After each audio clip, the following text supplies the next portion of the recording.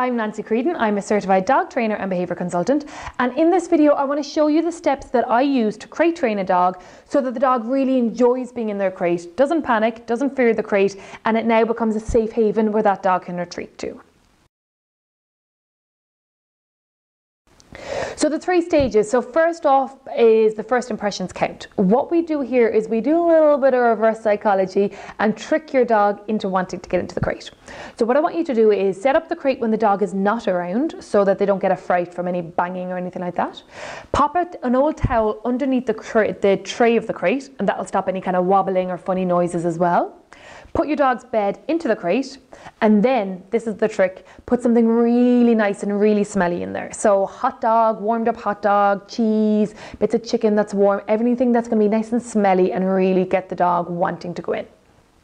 What you're going to do is close the doors of the crate and then call your dog into the room. So now the dog can explore the crate, smell amazing treats inside the crate, but they can't get in. So you're going to reverse psychology them so they want to get into the crate but can't. I give them a few, maybe 20 seconds to really sniff about and, and get excited about the crate. And then what you're going to do is ask them to sit and then as a reward for doing a sit, they get to go into the crate. So now, yay, going into the crate is a treat. Open the doors of the crate, let them go in, let them really enjoy their food. While they're in the crate and enjoying the food, close the door. Just before they finish it, open the door again. So they get closed into the crate, but only while they're enjoying their food. So make sure when you're setting up the crate that the dog is not in the room. You tray part, you're going to put the towel underneath. Now, so what you want to do next is put your dog's bedding into the crate. So, so once you have the bedding in, you want to put in your treats. So we've got nice, tasty, hot, warm, smelly hot dog and a little bit of cheese in here. So we know she's going to like that. Um, so you're going to put that in towards the back of the crate so that when they do go in, she'll go in the side door and we want her to go in as far as she can. Um, what you can put in as well is their toys, things that they like so that again, it smells good. Everything good is inside in here um, smelly old toys so that they've been used.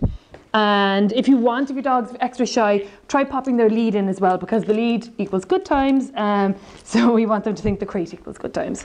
So lock up the crate, lock both doors, and go get your dog. This will be their very first impression of being in the crate. You want to go in? Good girl, sit. Good girl.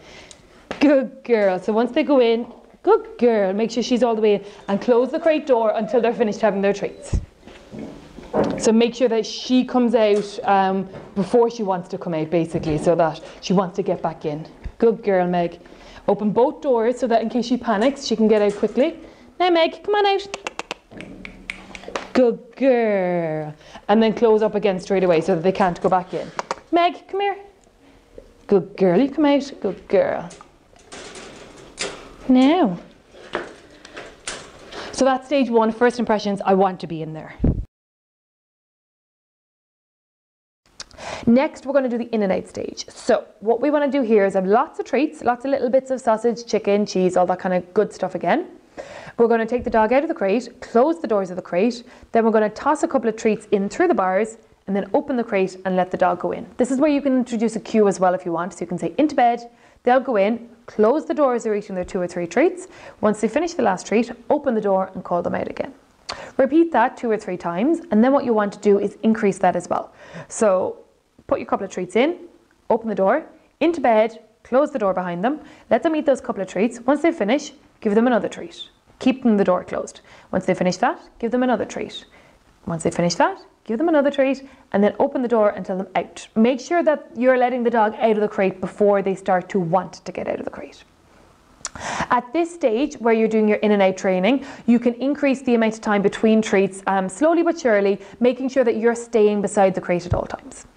Once you've built that up and the dog is happy to stay in the crate for their entire bowl of dinner, one by one, um, then what you want to do is you want to move on to the chilling in crate stage. So stage two is where we get the dog going in and out of the crate. So what we want to do is toss the treats in, let her go in and get them, and then let her come straight back out again. Good girl, Maggie Moo Moo. Good girl. So put a couple of treats in so that it takes them, you know, a good five, ten seconds to finish up so that you have time to let them go in, close the crate door, and then call them back out again. So we have five little ones here. Look, they're in the bed. Now, good girl. Now, Meg, into bed. Good girl. Close that. Let them get all the treats, and then when they're nearly finished the treats, you can call them back out again. Good girl. Okay. So you'll repeat the first stage several times. In, out, in, out, in, out. Telling her into bed. She goes in, gets her treats, close the door, open it, let her back out again. And then this time you're moving on to the next stage. So what I'm going to do is put her in, um, let her eat the treats that are in there, and then while she's still in there, when the treats are gone, I'm going to slowly but surely offer an extra one, an extra one, an extra one, while she's staying in there calmly. So sit. Good girl. Then Meg, into bed. Good girl. So she's going in, having the treats that are in there. There's another one there, so I'm waiting for her to find it. Good girl. Now she's still in there, so every now and again I'm going to give her an extra one while she's staying calm. Once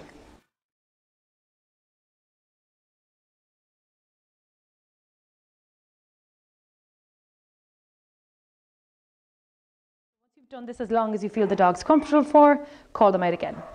Now, okay, good girl. Would you come? Now. So the chilling in crate stage is where we want the dog to relax and kind of go to sleep inside in the crate. What you want to do here is get a long lasting chewy item. So if your dog um, enjoys stuffed Kongs, get them a stuffed Kong. If they have like a pig's ear or a rawhide or something nice and chewy that will last a long time, you can use that too. What you're going to do is put that inside in the crate, let the dog see it, tell them to sit, open the gate, let them in, and close the gate behind. Let them get really stuck into the chewy treat, staying beside them the whole time um, and praising them every now and again, just making sure that they're cool, calm, and content. Ideally, what will happen is at the end of the chew, your dog will fall asleep. If they finish their chew and want to come out, provided they're still relatively calm, just praise them, pop a little treat through the bars, and let them relax again in their crate. What we want is the dog to fall asleep in the crate so that then we can wake them up and call them out. Chewing again releases dopamine. Dopamine calms your dog down, so we want them to be calm. And things like a rawhide, things like a stuffed Kong, um, or frozen treats as well. You can freeze your stuffed Kong, but this here is a yogi, so they're yogurts for doggies, and it's frozen. So she'll get to have a nice chew on that while she's inside in the crate. Um, you can put as much nice stuff in there as possible so that while she's in there, good things are happening. Uh, you can be sitting beside her doing some work, watching TV, um, but as long as you're beside your dog, they shouldn't get upset. Once they've had their chew, if they get a little bit bored, just reassure them and tell them it's okay, and provided they're calm, let them stay in the crate. They'll eventually fall asleep.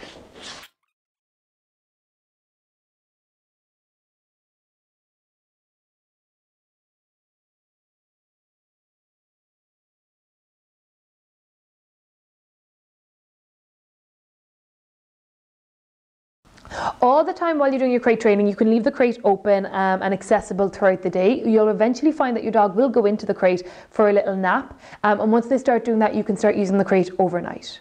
When you initially start using the crate overnight, make sure that you um, have the crate in kind of a secluded area where there's not that much going on. So you might only have like the end of the hall and then the crate, or you might have the crate inside a utility room. Leave the crate door open, but what you want to do is make sure that the crate is the better choice of the two places to be. It's better to be out of the, inside the crate where it's nice and cozy than outside the crate where they're on top of tiles. What you'll find then is your dog will start sleeping in the crate. Once they're sleeping in the crate, you can then start closing them into the crate overnight. So there are the steps to crate training. Uh, I hope you enjoyed. I hope it goes well for you. If you want to watch more dog training videos, you can just subscribe below. And if you want to find out more, you can follow us on Facebook um, on Nanci Creedon Dog Behaviourist. So good luck with your training. Um, let us know how it goes and make sure you go slow and steady. The last thing you want to do is panic that dog in the crate. So slow and steady, lots of fun, lots of treats, um, and enjoy the training.